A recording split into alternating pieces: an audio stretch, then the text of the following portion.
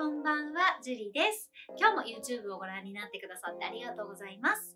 この動画を見るとあなたも必ず持てるようになりますので、今日の内容も楽しみにしていてください。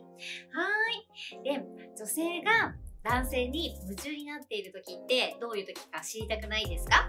結構ね、これね、わからない人も多いし、見逃してる人も多いです。え女性の夢中のサイン、これはね、簡単に見分けることができますので、今日の動画は、えーこれをされたらあなたに夢中のサイン5選ということでお話をさせていただきたいと思います。この動画がいいなって思っていただいたら、チャンネル登録と高評価の方もお願いします。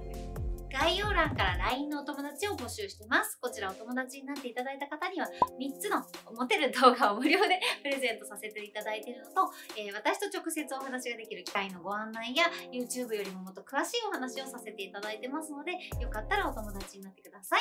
はい。では、えーこれされたらあなたに夢中のサイン5選。まず1つ目。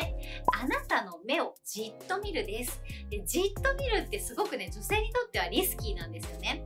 例えば、あなたの目をじっと見るじゃないですか。で、あなたも私の目をじっと見るじゃないですか。そうすると、顔の距離も近くなるじゃないですか。そうすると、チューされちゃう可能性があるんですよ。で、それって、じっと見続けるのって、女性にとっては嫌だったらリスキーなんですよ。だって、ピュッて、プッてやられてもしょうがないじゃないですか。だって女性を見てます。男性も見てます。顔の距離も近いですってなった時に、防げないわけですよね。それってもう OK だよって夢中だから、もうなんかそれされてもいいかなって意識では思ってなかったとしても無意識で思ってたりするんですよね。なのであなたの目をじっと見られてねあなたが見たとしても離さない。これはですねあなたに夢中のサインでもしかしたら注意してほしいなって思ってるかもしれませんのでそこはゴーサイン。かもしれませんよ。はい。そして2つ目。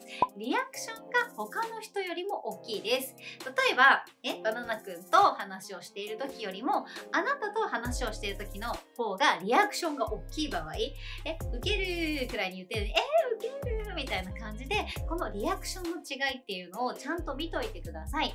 リアクションが大きくしている方が夢中のサインなんですね。あなたに私を見てほしい。だから私こんなにあなたのこと楽しいと思ってるよっていうのが出ちゃうんですよ。なのでぜひね他の人とね比べられるね状況があるのであればそのリアクションを見て自分の方が大きいリアクションを取ってるなって思ったら夢中のサインだと思っていただければなと思います。はい。そして3つ目。前ので話を聞いてくるんです。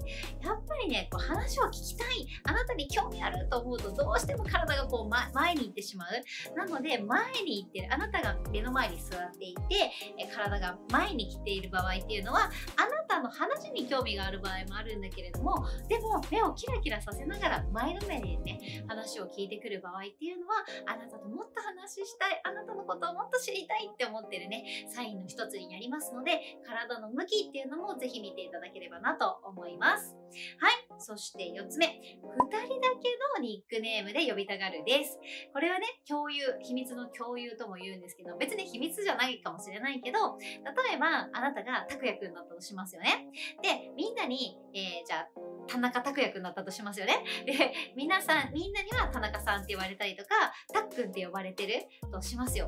でもじゃあ私はたっくんじゃなくてたくちゃんって呼ぶねみたいな感じで2人だけの呼び方。他の人とは一緒は嫌だ。だから2人だけの呼び方がいいって思ってる場合は夢中のサインの可能性が高いです。で私も普段はじゃあジュリちゃんって呼ばれるけどジュリって呼んでとかね。言われたら 結構ね、えーこれは夢中のサインになりますのでぜひねこの2人だけのニックネームで呼ぶっていう提案をされた場合は夢中なんじゃないかなと思っていただければなと思います。はい。そして5つ目。甘えた声になるです。結構ねこのね声のトーンとかって聞いておいてほしいんですよね。どうしても女性って好きな人を目の前にした時って声が甘ったるくなるんですよ。例えば、えー好きじゃない人だったらえーそれあのあいいねいいねみたいな感じ。でも好きな人を目の前にすると「えー、それいいね」みたいな。わかります？この違い。あそれいいねって言ってるのと「えー、いいね」みたいな「えわかる」みたいな「あわかるわかる」っていうのと違うの。そのえ言い方の違いってもう女性って如実に出てきますので声が甘ったるい感じ「えー、わかんない」とか「えー、わかんない」じゃなくて「えー、かんない」みたいな感じ？これ分かります？この違いこの違いを、えー、ぜひね皆さん聞いておくっていうことをやって聞き漏らさないっていうことをね、えー、していただかないと、え夢中のサイン見逃しちゃいますのでしっかり女性の声聞いといてくださ。い。さらいしますね。これされたら夢中のサイン5選。まず1つ目、あなたの目をじっと見る。そして反らさないね。で、2つ目、リアクションが他の人よりも大きい。そして3つ目、前のめりで目をキラキラさせながら話を聞いてくる。そして4つ目、2人だけのニックネームの呼び方を提案される。5つ目、甘えた声になるです。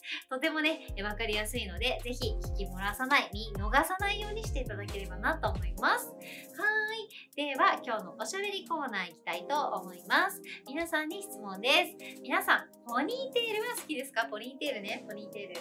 似てるよ。はい。なんかね、男性ってポニーテールが好きなイメージがあるんですけど、私がね、今やってる髪型はハーフアップ。ハーフアップね。で、ポニーテール。皆さん、ポニーテール好きですか？ぜひね、好きだよとか、ハーフアップの方が好きだよとか、下ろしてる方が好きだよとかあったら、ぜひコメント欄にアウトプットしていただければ嬉しいです。はい。ではですね、概要欄から LINE のお友達とメッセンジャーのお友達として無料のオンラインサロン、クラブハウスのお友達を募集してます。えたまにやる私のゲリラライブのご案内、そして YouTube よりも詳しい話、私と直接お話ができる機会のご案内もさせていただいてますので、よかかったらお友達になってください。はい。では、今日も一日お疲れ様でした。ゆっくり休んでくださいね。また明日